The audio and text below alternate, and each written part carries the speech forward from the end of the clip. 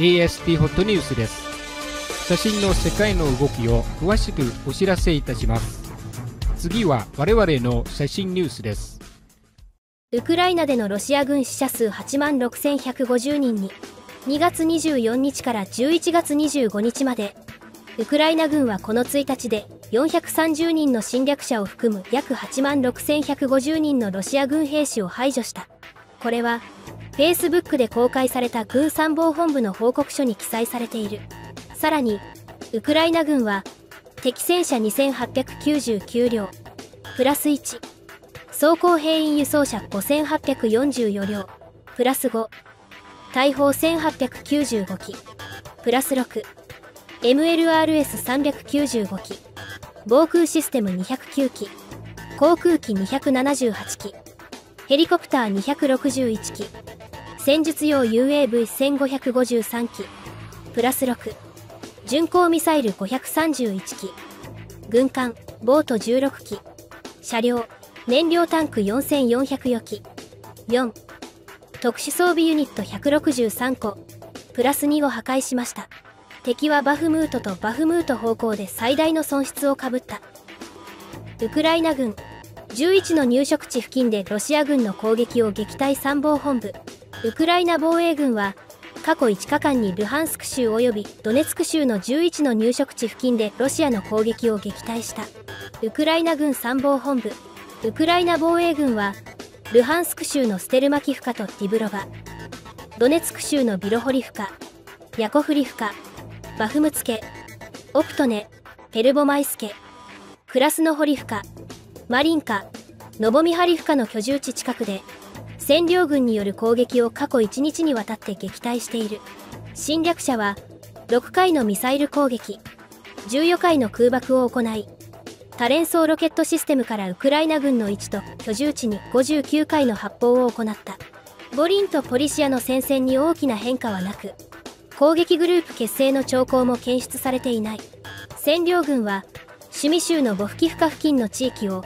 シバー式な戦線の艦上砲から砲撃した。スロボジャンシナ戦線ではロシア軍は様々な種類の大砲を使用しハリコフ州のストリーリーチャクラスネゼリーンスタリーツや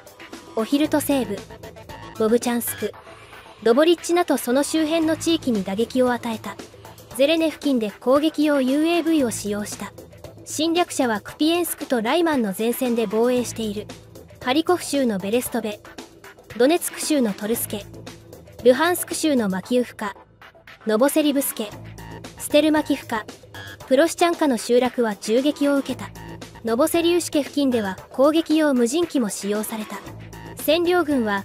バフムトとアブディフカ前線での攻撃作戦の実施に力を注いだ。ドネツク州のアンドリブカベルクニオカミエンスケバフムートアブディフカクラスノホリフカマリンカネベルスケ。ペルボマイスケの居住地は異なる口径の戦車と大砲から攻撃された。ロシア軍はノボパブリフカとザポリージの前線で防衛を続けている。ロシア軍は戦車迫撃砲艦上砲ロケット砲を使用しドネツク州のブフレダープレチスチフカネスクチネブレミフカゼレネポールザポリジャー州のオルヒフスケフリアイピルスケチャリブネ周辺にあるウクライナ防衛部隊の陣地を攻撃している。占領軍はブールダール付近で空爆を行った。ロシアの侵略者はドニプロ川右岸のウクライナ軍の陣地と居住地。クリビエリケルソン前線への砲撃を止めない。戦車迫撃砲艦上砲ロケット砲を使用してアントニフカツミフカベリスラフトカリフカミキルスケチョルノバイフカビロゼルカケルソン州ケルソンを攻撃している。占領軍はザポリジャー州のモストベという占領都市で地元住民にロシア連邦の法律に従って彼らの財産と土地について新しい書類を登録するよう強制している。もし人々が拒否すれば彼らは全ての財産を国有化すると脅している。ウクライナ軍機は占領者を殺害し続けている。この1日で人員武器軍備のクラスターに12回の攻撃があり占領軍の対空ミサイルシステムの位置にも2回の攻撃があった。ロシアが進めているウクライナ侵攻はロシア最大のハイテク企業の一つを押し出そうとしている。ロシアは最大のハイテク企業を失うことになり欧米の技術に代わるロシア産の製品を育てようとするプーチン大統領の計画に水を差すことになる。ロシアのグーグルと呼ばれることもあるヤンデックスは検索ブラウザや乗り物アプリで知られるロシア最大のインターネット企業である。しかしニューヨーク・タイムズの報道によるとオランダに本拠を置く親会社はウクライナ侵攻がビジネスに悪影響を及ぼす可能性があるため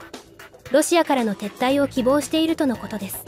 ロシア最大のハイテク企業の撤退は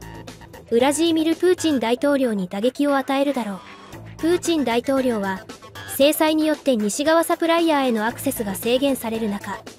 ロシアの技術や商品を生産するために協調して努力してきたのである。ロシアのメディアザ・ベルが最初に報じた大規模な再編計画の一環としてヤンデックスの親会社ヤンデックス NV は自動運転車機械学習クラウドコンピューティングサービスなどの新規事業と最も有望な技術をロシア国外に移転するとこの問題に詳しい匿名の情報筋2名を引用してフィナンシャル・タイムズが報じました。それらの事業は西側の市場専門家技術へのアクセスを必要とするが